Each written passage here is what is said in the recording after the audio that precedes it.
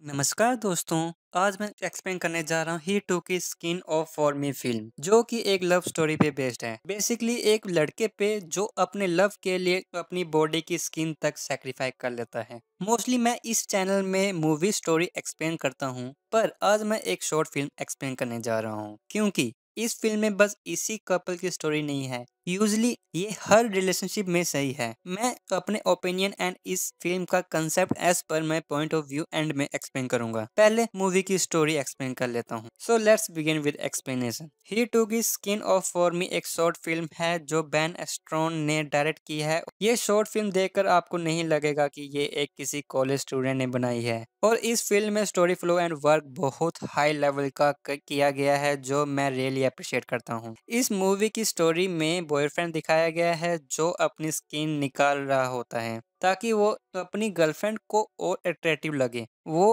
अपनी गर्लफ्रेंड से बहुत प्यार करता है और बिना सेकेंड थॉट लाए ये स्टेप ले लेता है। फिर जब वो अपनी गर्लफ्रेंड के सामने आता है तो वो उसे देखकर काफ़ी खुश होती है। उसे उसकी बॉडी पहले से काफ़ी अच्छी लग रही होती है। यहाँ देखकर लगता है उसका ये डिसीज़न सही था एंड इससे उन दोनों की बॉन्डिंग और स्ट्रॉन्ग हो जाती है। इससे उसकी गर्लफ्रेंड काफ़ी खुश होती है और दूसरी साइड उसका घर का काम डबल हो जाता है। जैसे जब वो उड़ती है, उससे एक्स्ट्रा काम करना पड़ता है। जैसे कपड़े वॉश करना, फ्लोर वॉश करना या कर्टन वॉश करना, क्योंकि ब्लड साफ़ करना पड़ता है, नहीं तो स्मेल हो जाती है।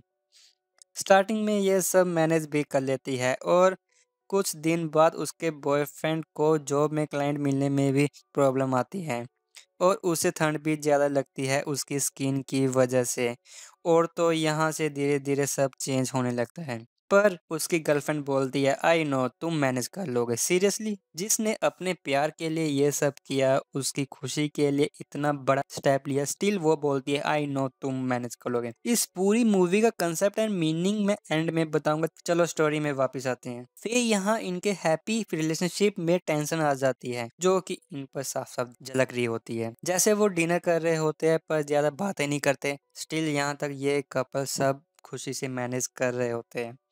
पर इस रिलेशनशिप का सही टर्निंग पॉइंट तब आता है जब उसके फ्रेंड्स डिनर में आते हैं और उससे पूछते हैं, क्या तुम अपनी स्किन को मिस करते हो और कैसा लगता है अब ऐसे जीने में? तो ये सब बातों से उसे काफ़ी रियलाइज़ होता है और उसके फेस में फाइनली रिग्रेट दिखता है और उसे कहीं ना कहीं लगता है, ये रिलेशनशिप हम दोनों का था और ये डिसीज़न बस मैंने लिया। तो उसके माइंड में और भी बहुत सारे थॉट्स आते हैं। जब वह साथ बेड पे लेटे होते हैं, उसका बॉयफ्रेंड उसको देखता है, घूर रहा होता है और उसके माइंड में उस समय काफ़ी थॉट्स भी चल रहे होते हैं। इसी के साथ उसका बॉयफ्रेंड उसकी स्किन पुल करता है। इसी के साथ यहाँ मूवी का एंड हो जाता है। वाओ! इससे परफेक्ट मूवी का स्टार्टिंग और एंड नहीं हो सकता। इस मूवी में बहुत पावरफुल मैसेज दिए गए हैं, जैसे जो कि हर रिलेशनशिप में समझना ज़रूरी होता है। जैसे कि रिलेशनशिप दोनों तरफ़ से चले, तब बैलेंस रहता है। बॉयफ्रेंड ने अपनी स्किन सेक्रीफाई की, उसने खुद को पूरी तरह चेंज किया। This is not a true relationship. सही रिलेशनशिप वो होता है, जिसमें वो तुम्हें और बेटर करे और तुम्हारा बेस्ट वर्जन बाहर आए,